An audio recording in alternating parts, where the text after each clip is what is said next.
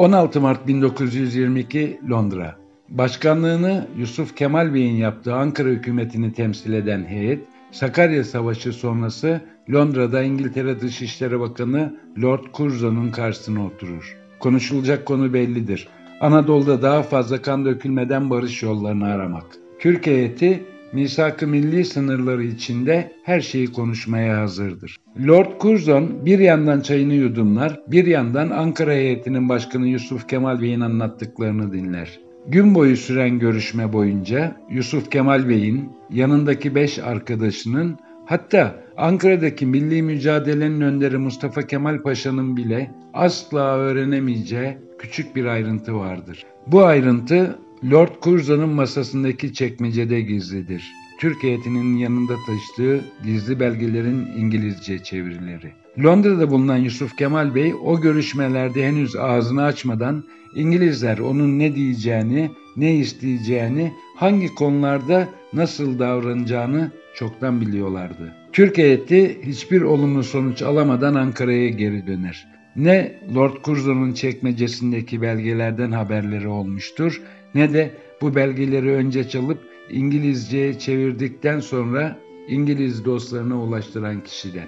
Mustafa Kemal Atatürk de hayattayken bu durumu elbette bilmiyor. O yüzden Büyük Nutuk'ta Yusuf Kemal Tengir başkanlığındaki Ankara heyetinin bu temasları için seyahat başarısız oldu deyip geçiyor. Peki nereden çıktı o belgeler?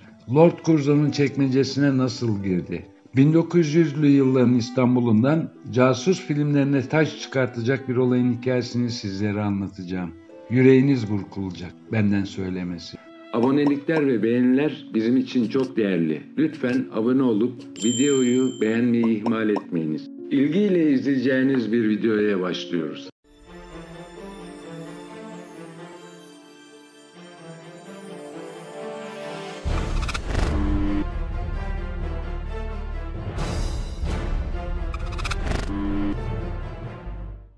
Mustafa Kemal Paşa 1922'nin başlarında Yunanistan'a destek sağlamak amacıyla Avrupa'da dolaşan Başbakan Dimitros Gunaris başkanlığındaki Yunan heyetini etkisiz bırakmak amacıyla Avrupa'ya bir kurul göndermeyi düşünmüştü.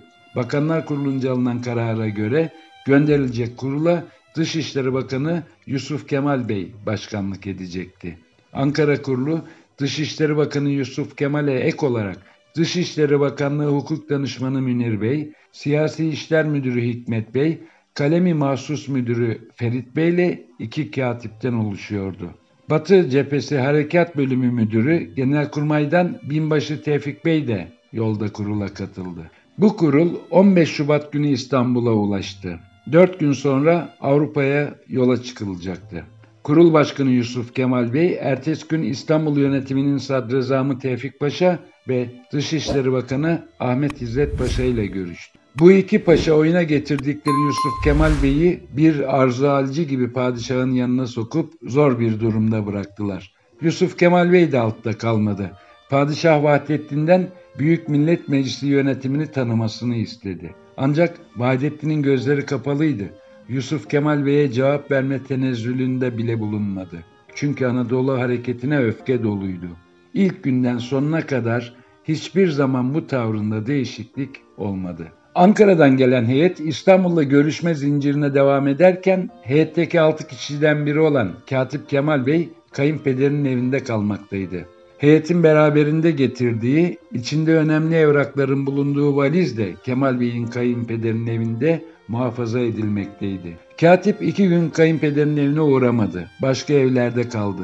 İşte ne olduysa o iki gün zarfında oldu. Durumdan bir şekilde haberdar olan Vahdettin'in hafiyeleri bir gece gizlice eve süzüldü, valiz alıp kayıplara karıştı. İçindeki altı adet gizli belgenin fotoğraflarını çekip daha sonra belli etmeden eve geri bıraktılar. Bu kopyalar daha sonra 6 Mart 1922'de Vahdettin'in emektar bir mabeyincisiyle İngiltere Yüksek Komiserliği baş tercümanına gönderildi. Komiser bu kopyaları Londra'ya rapor ederken bu belgelerin kendisine sultan tarafından gönderilmiş olduğunu açıkça ifade etti. Hazırlanan raporda bu gizli belgelerle ilgili şöyle bir not da düşülmüş. Bu belgelerin mevsuk yani sağlam olup olmadığı konusunda size güvence veremem. Ama bana mevsuk görünüyorlar. İngiltere'nin İstanbul'daki en üst düzeydeki diplomatik temsilcisi olan Yüksek Komiser Sir Horace Rambold, İngiliz Dışişleri Bakanı Lord Curzon'a 7 Mart 1922'de 232 sayılı ve gizli ibaresi taşıyan işte bu dosyayı gönderir. Lord Curzon'un daha Yusuf Kemal Bey ve heyetiyle görüşmeden önce baştan sona okuduğu dosya budur. Curzon, Yusuf Kemal Bey o görüşmelerde henüz ağzını açmadan onun ne diyeceğini, ne isteyeceğini, hangi konularda nasıl davranacağını çoktan biliyordu. Bu belgeler aradan yıllar geçtikten sonra Salahi Sonyel'in İngiliz arşivlerinde yaptığı çalışmalar sırasında ortaya çıkmıştır. Bu belgelerin bulunduğu dosyaya İngiltere Dışişleri Bakanlığı Doğu Masası yetkilisi Osborne'un 14 Mart 1922'de düştüğü not şöyledir. Padişah Yusuf Kemal'in valizinden çalınan belgelerin suretlerini göndermekle aralarındaki ilişkilerin durumunu en iyi biçimde bize gösteriyor. Rusların Anadolu'da neden maden imtiyazları istediklerini anlayamıyorum. Kendi ülkeleri işlenmemiş maden kaynaklarıyla dolu. Herhalde Türkiye üzerindeki kıskaçlarını daraltmak ve bizi içeriye sokmamak için olsa gerek. Çalınan belgelerin içeriğine gelince. İlk belge Batı Cephesi Komutanı İsmet Paşa'dan Yusuf Kemal'e gönderilmiş olan mektup. Bu mektupta heyetin özellikle Fransızlarla görüşmelerde dikkatli olması uyarısı bulunuyordu. Sovyet Rusya'nın durumuna ilişkin değerlendirmeler vardı. İkinci belge ise Yusuf Kemal heyetine rehber olmak üzere kaleme alınan yönergeyi içeriyordu.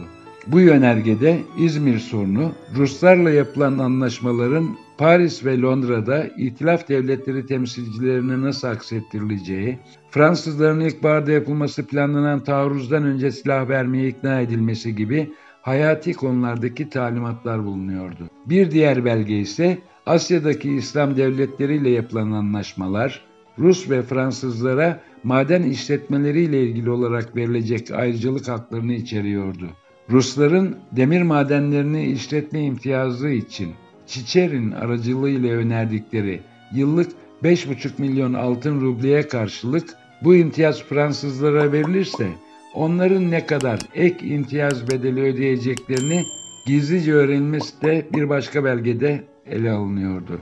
Murat Bardakçı'nın ısrarla beceriksizdi ama hain değildi dediği son padişah Vahdettin konu İngiltere adına casusluk olunca meğer ne kadar da atak ve becerikliymiş. Son yılların gözde tartışma konusu. Vahdettin hain mi değil mi diye tartışılıyor. Hain olmak için bunlar yetmez mi? Başka ne yapmak gerek? Daha ne yapılırsa hain olunur. Bu konudaki görüş ve yorumlarınızı bizimle paylaşmanızı dilerim.